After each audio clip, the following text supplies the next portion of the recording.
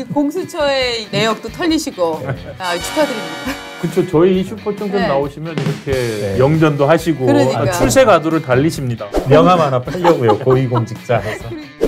그러니까 이제 사실은 술자리 한 여섯 분이서 만났어요 송년회 겸해서 예. 네. 그러다가 이제 남자들끼리 술자리 시시껄렁한 얘기를 했죠. 예. 예. 뭐 아, 이 무슨 얘기나 하다가 당연히 대선 이야기 나왔고 네. 대선 때 이재명이 당선되면 이렇게 음. 하다 보니까 몇 분 중에 한 분이 이제 예. 아, 당연히 김경률 회계사님은 이재명이 아. 당선되면 망명 가라. 그렇죠. 이렇게 아. 이야기 나오고 뭐 비슷한 얘기 시껄렁하게 계속 하다가 저도 그 이야기를 했죠. 아이, 뭐 저는 뭐 제 개인 생활, 사생활이란 게 있겠냐. 핸드폰도 다 털리고 네. 다할 거다. 뭐 그러지 않겠습니까? 하다가 옆에 모 기자님이 그런 이야기를 해보더라고요. 예. 하시더라고요. 그러니까 한번 그 통신정보 조회 한번 해보시라고. 아. 그래서 이제 저는 그걸 좀 귀담아 듣고 계속 염두에 뒀던 게 네. 2015년, 16년에 참여연대가 네. 이거 관련 대대적인 캠페인을 하고 행정소송, 손해배상소송, 헌법소원 이렇게 세 가지 아. 아주 그 큰 이벤트로 했던 기억이 있고 저도 당사자로 했었거든요. 개인 계좌를 털어서는 안 돼. 예, 개인 조회해서는 안 정보. 된다. 예, 예, 예. 예. 그- 그래서 그때도 저도 그때도 두 번인가 나왔었고 네. 아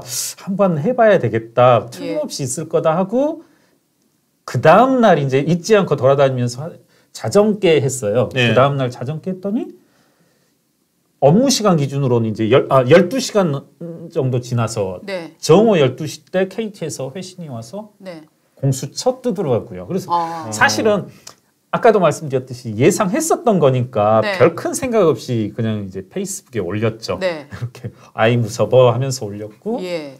에, 그때 당시는 별 생각 없이 했는데 저는 예, 그렇게 해서 한 거고 네. 이거 이게 네. 저 우리 시청자들을 위해서 좀 노하우도 알려주실 필요 있을 것 같아요. 이게 그러니까 되게 저도 예전에 6년 전에 해봤으니까 지금 해보는 거지. 아 쉽지 네. 않군요. 어려운 거 쉽지, 신청 쉽지 신청하는 않습니다 게. 이게. 예. 예. 그- 저도 6년 전에 했었으니까 어디 들어가면 금방 찾을 수 있겠지 했는데 네. KT 홈페이지를 들어가서 회원 가입도 하셔야 되고 어. 뭐 예를 들어 통신 자료 이런 검색어로는 잘 안 나옵니다. 나옵니까? 안 나옵니다. 이- 이렇게 뭐 저도 좀 한참 헤매다 하면서 야 이것들 음. 잔머리 굴리는구나 아. 그런 그러니까 생각하면서 저거 어떻게 본다면은 자기가 이제 통신 자료를 누가 조회했다는 것은 내 개인 정보고 내가 네. 충분히 제공받기 펴- 알고 싶을 때 예. 확인 쉽게 확인할 수 있어야 되는데 예 맞습니다. 그걸 확인하기 어렵게 만들어 놨군요. 네, 그렇죠. 네, 네. 예. 그리고 이제 몇몇 기자분들 뭐 변호사분들도 오해를 하는 게 네.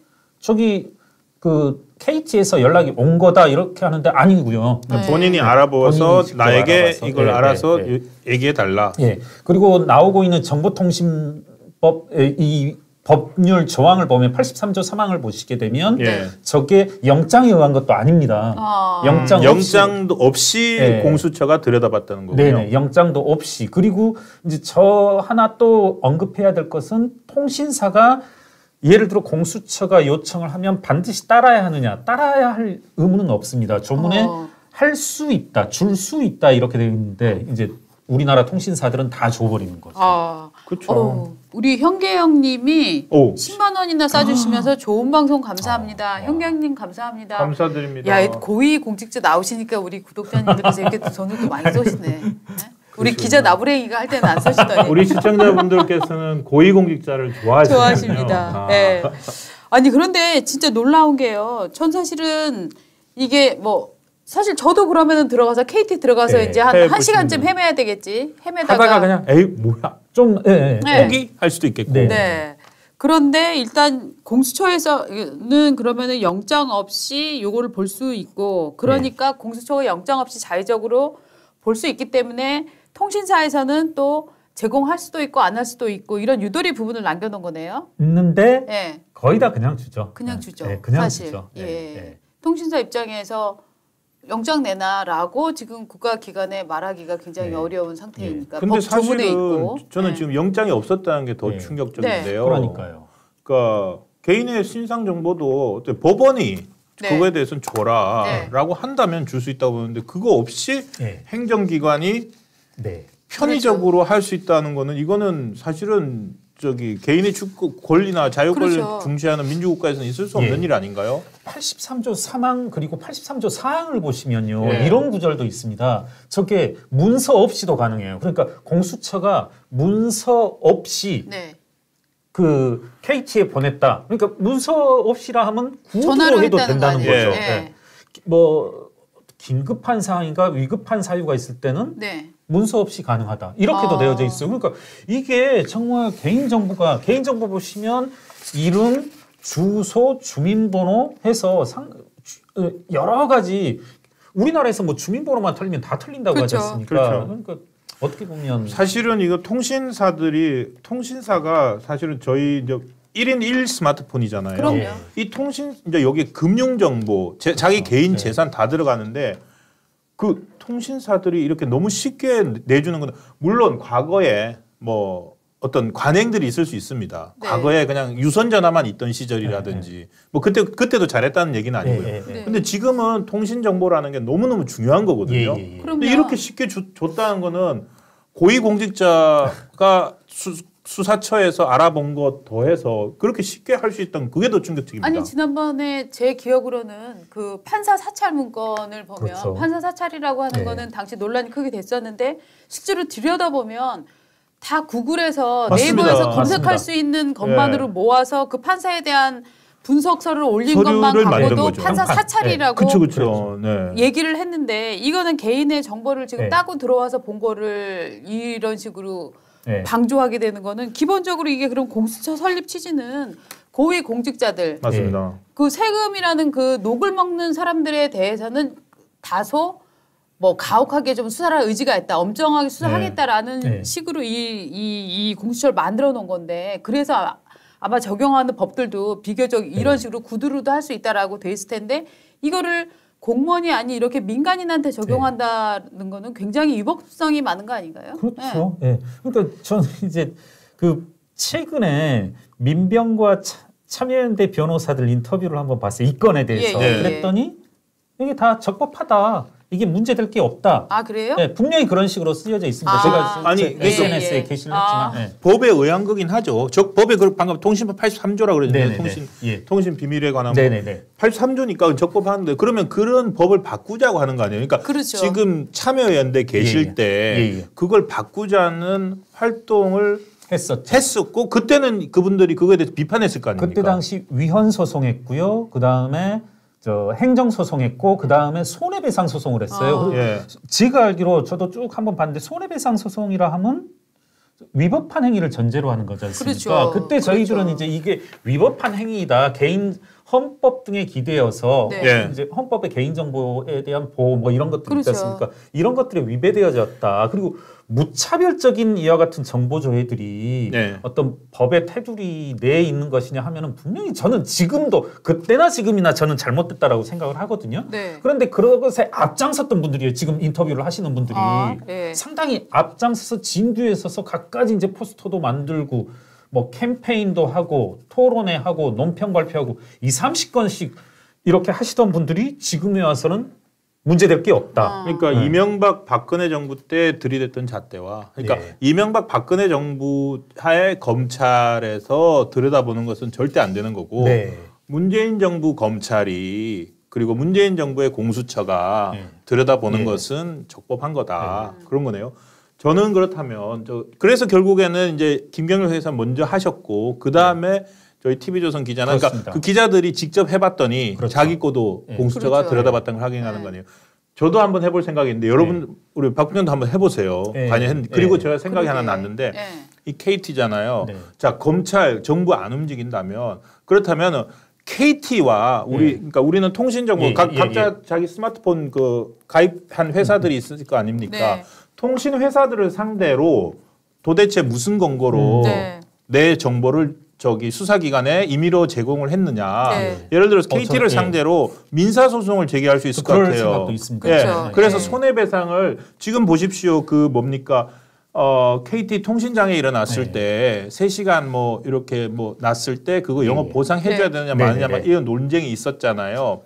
그거 사람들의 의견이 모이고 그 피해자의 집단이 커졌을 때 기업들은 해줘야 되거든요. 예, 예. 그리고 그 다음엔 다시는 안 할 거예요. 예. 그럼 이건 또 민사 소송을 해서 크게 잡을 수 있으면 예. 크, 크게 이슈를 키울 수도 있을 것 같습니다. 예, 이게 그리고 이제 여기 조선일보이기도 하지만 제가 TV조선 기자님 최민식 기사님 기자님 네. 기사에 뭐가 떴었냐면요. 그게 저한테는 좀 충격이었었거든요.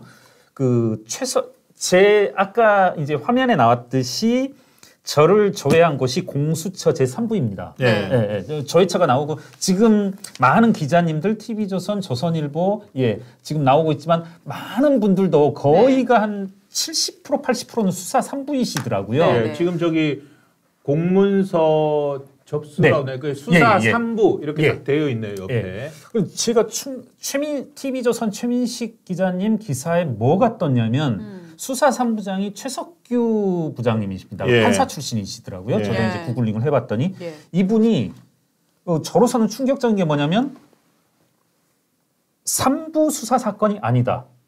음. 예. 삼부 수사 사건이 아니라고요? 예. 그리고 나는 몰랐다. 조회한지조차 몰랐다. 에이? 이게 저는 조금 이 언론 에서 이 예. 부분을 좀 주목해 주셨으면 하는데 제가 사실은 그래서 최민식 기자님한테 네. 그 어, 문자를 보냈어요. 네, 네, 네. 이거 혹시 앞뒤 자르거나 음. 약간 오해될 소지가 있는 거 아니냐 했더니 맞대요. 그 워딩 맞대요. 아, 제가 그리고 여러 경로로도 확인을 해봤거든요. 네. 맞대요. 그럼 뭡니까? 그러니까 다시 한번 말씀드릴게요. 저로서 이제 약간 충격적이었던 게 뭐냐면 네. 저한 제 정보 조회를 공수처 제 3부가 했다고 통보가 왔어요. 예. 그런데 공수처 3부장이 몰라. 몰랐다. 예. 아 몰랐다뿐만 아니라 네. 예. 우리가 아니야. 공수처 3부 사건이 아니다. 예. 그러면 이러면 뭐냐는 거죠. 어. 제가 이제 전화도 여러 차례 했습니다. 제가 이제 예. 약간은 반농담식으로 예. 뭐 간헐적 단식 1일, 2일, 3일 하면서 네. 매일 전화를 하고 있다. 어제부터는 안 하고 있는데요. 제, 네. 제 전화 안 받아버리더라고요. 네. 뭐 제가 알기로 공공기관들 다 발신자 번호 찍힐 텐데 네. 안 받더라고요. 예. 예, 저렇게 이제 했었는데 지금 그 전화를 위해서 공수처 홈페이지 들어가서 조직 구성을 보니까 1부, 2부, 3부가 있더라고요. 네. 그런데 3부에서 했는데 3부는 자기 사건이 아니다. 그 1부, 2부냐? 저는 1부 또는 2부에서 했다라면 1부 도장이 찍혔겠죠. 네. 분명히 저희 보셨듯이 3부라고 나와 있었거든요. 예, 예, 예. 그, 저 사실 자체를 부인하는 건 아닙니다. 그러니까. 그러니까 3부라고 써 아까 예, 그 예. 통신 조회서에도 예, 3부라고 예. 돼 있었거든요. 네네. 어. 그리고 이제 제가 받은 뉘앙스 이쪽 저쪽 상, 어, 한 뉘앙스는 참 최석규 저 부장이란 분은 네. 약간 일말의 양심 그런 게 있어서 지금 당혹스러워 하시는 거 아닌가 아. 절대적인 거짓말이라는 생각은 들지 않거든요. 예, 예. 네. 그러면서 도대체 삼부 사건이 아니란 말은 예. 저는 이게 공수처가 지- 수사 진행 중인 사건은 아니다. 네, 저는 네. 이렇게밖에 해석이 안 되더라고요. 아. 예. 편의적으로 예를 들자면은 이런 거죠. 공수처가 그냥 앞에 공수처 하나 만들어 놓고 예. 수사 목적이 아닌 네. 다른 이유로라도 저는 그렇다. 알아볼 게 있으면은 네. 공수처에 이름 빌리는 거죠. 이름 빌려서 네. 저기 몇 월 며칠부터 며칠까지 음. 김경률 회계사랑 네. 누가 통화했는지 좀 알아봐 주세요. 하면은 공수처에서 알아봐 네. 주는 거네요. 그렇죠. 그럴 가능성이 그러니까 어떻게 이게 이제 임의 그게 뭐 임, 임의로 임의로 그냥 들여다보는 게 이게 전제국 독재국가에서 그렇죠. 독재국가에서 철권 통치하는 사람들이 하는 네. 일이거든요. 네. 근데 이 모든 것들을 적법하게 법에 따라서 하면은 어째 되는데 그걸 안 하고 있다는 거네요. 예.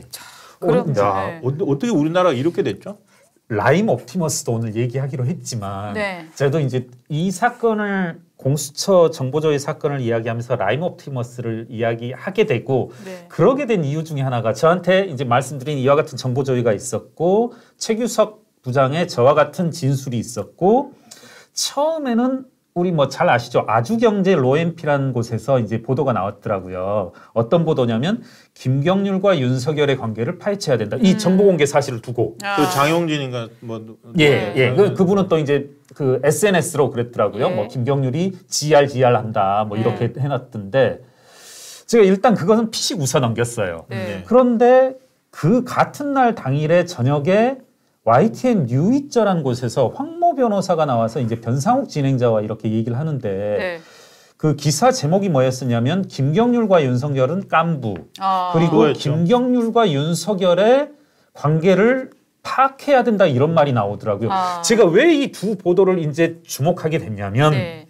라임 옵티머스 간단히 얘기하면은요. 그리고 그 이전에 조국 사태를 얘기하게 되면 네. 항상 조국 사태 때도 저한테 문자 주고 뭐 각 여러 가지 방식으로 이야기하는 분들이 김경률은 검찰에서 자료를 받아서 분석하고 음. 쓰고 하는 사람이다. 네. 네. 김경률이 그 이런 많은 자료들을 그리고 회계사들도 그런 말을 하던데 회계사 변호사들도 그런 말을 하던데 김경률이 저런 거를 어떻게 할 수 있었겠냐. 네. 저건 분석할 수 있는 게 아니다. 검찰이 내밀한 자료를 김경률에게 줘서 쓴 거다라고 하는데 일단 그분 간단히 말하면 다 사실 아니고요. 네. 다 저 공시된 정보 그리고 유료 신용 정보 돈 주고 사서 한 겁니다. 다 일일이. 네. 그리고 일부 그렇죠. 기자분들이 제보 자료를 일부 저한테 공유하면서 한 건데 라임 옵티머스 그런 사건 하나랑 라임 옵티머스 때 보면 이런 일이 있었습니다. 그 민주당 측의 이데올로그들, 민주당 측 그 친민주당 측, 친여당 측 방송에 자주 출연하시는 네. 이런 뭐 변호사분들. 예, 네. 이- 이른바 전문가분들이 라임 옵티머스를 얘기하는데 딱 그런 기조로 얘기를 해요. 라임은 그 멀쩡한 기업에 정말 벤처스러운 high risk high return한 그런 이제 뭡니까 혁신적인 기업들에 투자하다가 정상적인 투자를 했다가 어떤 고유한 위험에 따라 실패를 한 것이고 그러니까 투자 손실이다, 네. 투자 손실이다. 이거 가지고 뭐라 하지 말아라. 네. 네. 이러고 옵티머스는 사기다. 네. 이런 식으로 다들 기조를 얘기하는데 어떤 특정 사건 하나하나를 설명할 때 예. 워딩들이 똑같아요. 어. 아, 변호사나 민주당 의원이나 뭐 어디에 나온 뭐 시민단체 종사자나 워딩들이 똑같아요. 예. 내부 정리가 됐다는 말씀이에요. 저는 그러니까 그거를 내부적으로 예.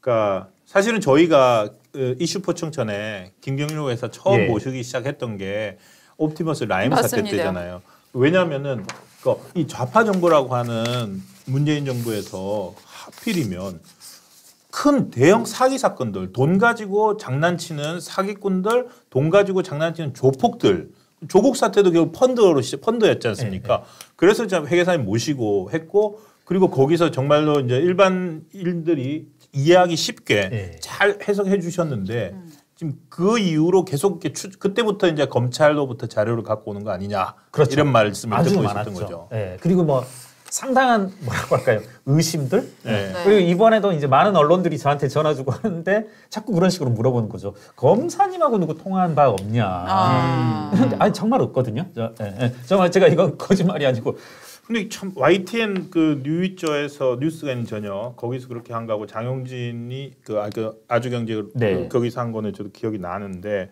이번에 어, 뭐 그러니까 YTN 저기 저 김경률 뒤에 윤석열이 있나라는. 의문을 이제 네. 큰 덩어리를 이제 하나 갖고 있는 거예요 갖고 있는 저쪽에서 그런 의문을 가지려면 제가 지금 하신 일을 봤더니 일단 이 조국 전 장관을 겨냥해서 이제 문재인 정부의 이게 정통성을 크게 흔들어 놓으신 죄. 그다음에 라임 옵티머스 이 각종 펀드 사기들을 알기, 알기 쉽게, 쉽게. 설명해서 거기에서는 사실은 뭐 유시민 전 장관이 무슨 일을 했었다 이런 얘기들이 많이 나왔었어요. 그쵸, 그죠? 그쵸. 예. 그래서 예. 사실 유시민 얼굴이 굉장히 많이 깎였어요. 그 네. 사건으로 인해서. 예. 그리고 그 양반이 큰 꿈을 꾸고 있다. 그때가 대, 대권도 노리고 있다 하는 얘기들이 막 나올 네, 때였는데 네, 맞습니다. 그때 우리 김경률 공직자께서 그런 행위들을 하셔갖고 사실은 유시민의 얼굴이 많이 까였고 그래서 그분이 혼자 오버하다가 내 계좌 들- 한동훈이 들여다봤다 그렇죠. 그렇죠. 네. 얘기해서 그게 또 아닌 걸로 나오니까 아 저 정치 해설자 은퇴할래요 네. 정치 코멘트 안 할래요라고 해서 네. 사실 유시민 씨라는 좌파의 자산으로 봐서는 굉장한 타격을 많이 입었던 네. 거예요. 또 화천대유 그렇죠. 요 사건에서 요. 예, 네. 요 숫자를 쫙 보면서 엑셀로. 어떻게 이렇게 몇 명이 이 많은 돈을 가지고 갈 수 있느냐라고 해서 심지어는 이게 또 이재명 후보한테 굉장히 큰 타격을 줬단 말이죠. 그러니까 이 모든 것들이 조국 저격해, 유시민 저격해, 문재인 정권 저격해, 화천대유 공개해서 차기 대권 후보까지 저격해. 그러니까 사실 적들이 아 그러니까 윤석 윤석열이랑 어 김경률이랑 짰을 거야. 제가 짠 거 증거를 가져올게요. 있어요. 어라고 하는 게 네. 네. 너무 너무 많은 기관들이 네. 궁금해했을 것 같아요. 그랬는데 네.